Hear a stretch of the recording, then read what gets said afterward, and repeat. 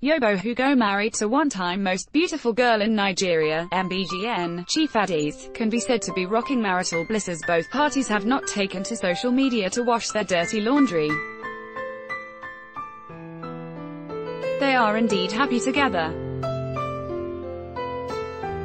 The couple who have been blessed with three children still regard themselves as lovers as Adaeze refers to calls her husband, my boyfriend. She has taken to her Instagram handle to share pictures and a video of her three-year-old son who loves to dress himself. Adaeze's post reads, Who else has a three-year-old that likes to pick their outfits? I mean my first son used to do it and the only issue I had with it was that he would pick the wrong clothes for the occasion, like football jersey set with the shoes for a wedding or party but never something like this. This one cried that, it is swag, swag, I wish I caught that moment on camera, it was too funny. He kept shouting it's swag, it's swag, I was weak.